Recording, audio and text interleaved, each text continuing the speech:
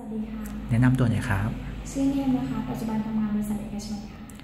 คุณเนม เออวันนี้เรามาทำอะไรกันครับ วันนี้มาเรียนการขายบน eBay ค่ะอืมเป็นแบบ private private เนาะค่ะเออทำไมคุณเนมถึงเลือกเรียน private อะครับ มีเวลาในการเรียนน้อยค่ะ เพราะว่าสัปดาห์หนึงต้องทำงานหกวันมีเวลาพักร้อนพอดีก็เลยโอเค private คือเป็นการเรียนเจาะลึกคนเดียวเลยเนาะ ใช่ค่ะเรียนครับเดียว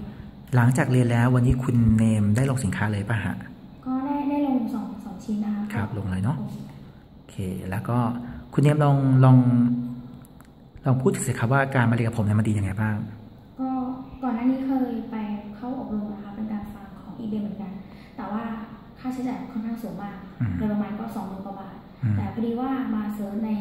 Google ดูค่ะแล้วก็พบพอดีมีของคุเตสอนอยู่อืมก็อยู่ที่ประมาณ3,500บาทก็เลยตัดสินใจเข้ามาเรียนอืมแล้วก็เรียนก็อืมก็มันก็ไม่ได้ยากเหมือนที่เราเราคิดเพียงแต่ว่าเราอาจจะ